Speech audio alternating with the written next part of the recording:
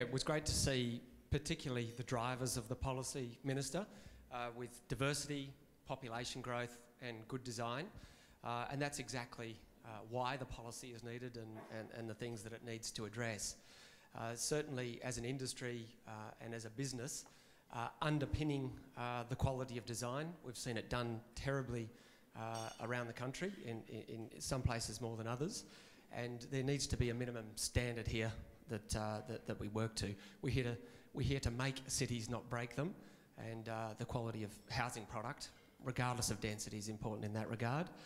Uh, diversity of housing product. Uh, I think this is one of the one of the key arguments, really, that helps address the community angst side of things, which I'm sure will come up a bit today. But uh, there is demand uh, for more dense product. Uh, and if you look at Western Australia, or Perth, I should mm. say, compared to the other capital cities around the country, there is a uh, we're, we're a laggard in terms of the proportion of new housing stock that is apartments or townhouses. It's uh, it's six percent of our housing stock mm. in uh, in Perth is apartments versus 21% in Sydney and 12% in uh, in uh, Melbourne and even uh, Adelaide at 7% has more apartments uh, than Perth, which, which has a much higher population. Uh, th there's that, and there's the ageing population, there's the proportion of uh, singles. Um, uh, you know, we've got 25% of our dwellings uh, in Australia and nearly 25% in Perth that are occupied by a single person. And not all of these people want to live in a large house or even a townhouse. Uh, so, so providing product for them, and a whole lot of other demand areas like the downsizers, the young professionals who can't afford the large home. Uh, I think there's plenty of opportunity and justification for more effort and energy in this space.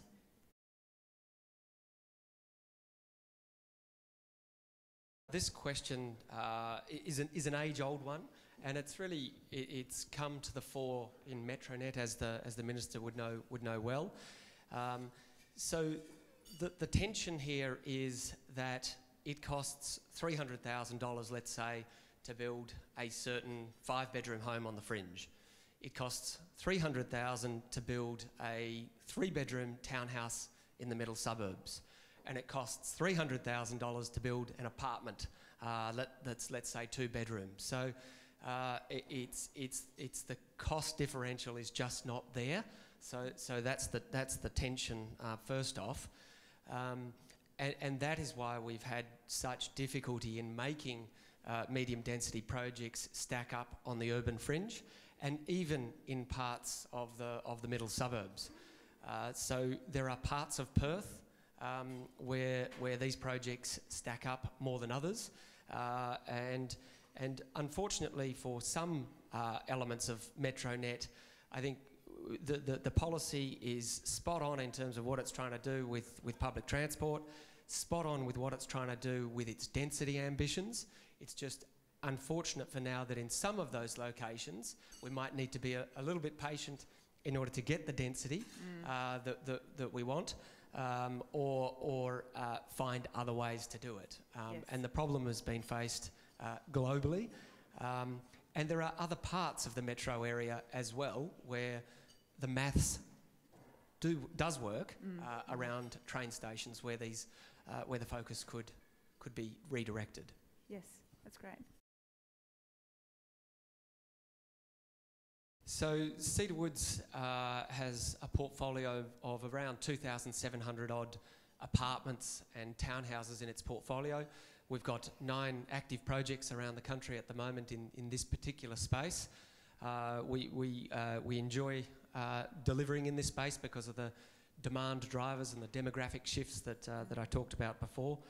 Uh, we have done medium density before uh, in Perth, but we just had a bit of a, bit of a hiatus. we have purchased two TAFE sites, in fact, in our history in Perth, one in Carine, uh, that was a project we did in 2007 2000 to 2009. Uh, that was uh, at the horrendous end of uh, planning experience. Um, the commercial outcomes were good, uh, the design outcomes were good, but it was a very difficult process. Uh, then we've got Subiaco. So Subiaco is a project that we're about to launch. It's, it's by land area, two-thirds townhouses, but also some apartments. Uh, the community support has been strong, so that's not the issue with this project. Uh, not that there is a, a, material issue with this project. Uh, the planning approval is imminent, uh, and what we're doing here is we're designing a product that suits two key buyer profiles. The downsizer, looking to move out of the five, six, 700 square metre block that accommodated the family home. They want to stay in the area, uh, they want to cash in on, on, on, some of the equity that they've got in that home, uh, and they're looking for a more secure, lower maintenance dwelling in the same area they're familiar with. And then the second buyer profile is uh, a young professional couple uh, looking uh, to be in an aspirational suburb or the suburb that they've grown up in, can't afford the $1.1 million median, uh, and they'll find our $800,000 buy-in price attractive. Mm. So we're delivering predominantly three bedroom, two bathroom, smartly designed townhouses. Uh, we pride ourselves on the thoughtfulness of our designs, the innovation we bring to these projects. Uh, we've got our, our, uh, um, partner DKO on that development who, who are, are good in this medium density space and um, we're, we're, we're really proud of the design outcomes and can't wait to show it to the community.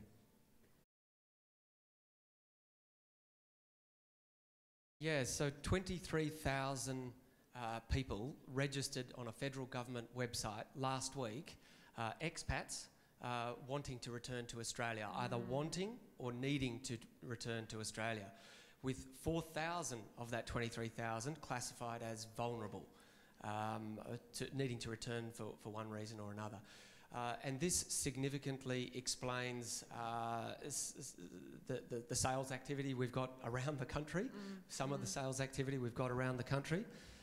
And then, and then on the, uh, the, the, foreign buyer uh, topic, I think this is just low hanging fruit for governments to remove the vacancy taxes, the states that have them, uh, to remove the 7% foreign buyer taxes that we've got. It's, uh, it's anti-student, uh, and, and I know most of our capital cities have ambitions for international students.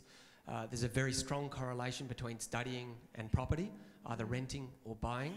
Mm. Uh, so for me, for us, it's a no-brainer to remove some of those obstacles, uh, roll out the welcome mat, and, and, and make the foreigners welcome.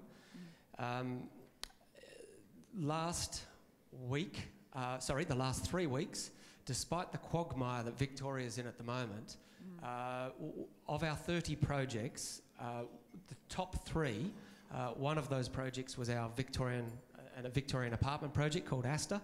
It's a medium density development next to a rail station. Uh, and we were achieving extraordinary sales from Hong Kong. Every time there's a protest, every time there's, mm. there's more clampdowns from China, mm. the expats look to return, and the Hong Kongese uh, um, you know, get on the phone and get on the internet and start inquiring.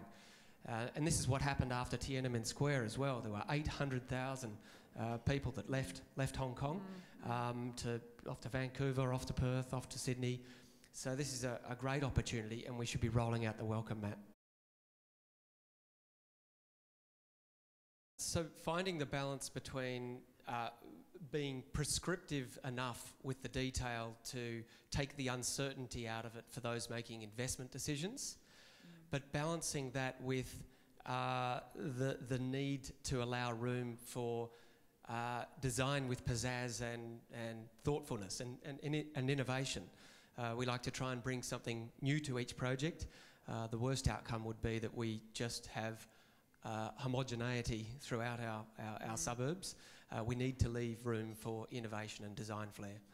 Uh, so that, um, and then, you know, dealing with the, the elephant in the room, and that's the community angst um, through how, how you weave consultation into mm. uh, the process, uh, the planning process and development application process, because uh, what, what should occur is, is the consultation occurs in the setting of the strategic framework, uh, that is when the community has their say on scale, height, target yield, mm. setbacks, whatever else.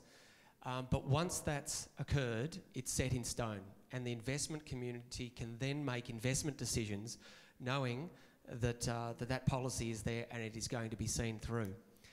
the other part, uh, and it's an extension to the policy, is seeing the policy through. Uh, the government having the will and the determination to see the policy through. Often the local politics and, and, and even state politics can interfere, so we've seen that determination and will from you, Minister, um, and, and have no doubt that you'll see through whatever you uh, put in place.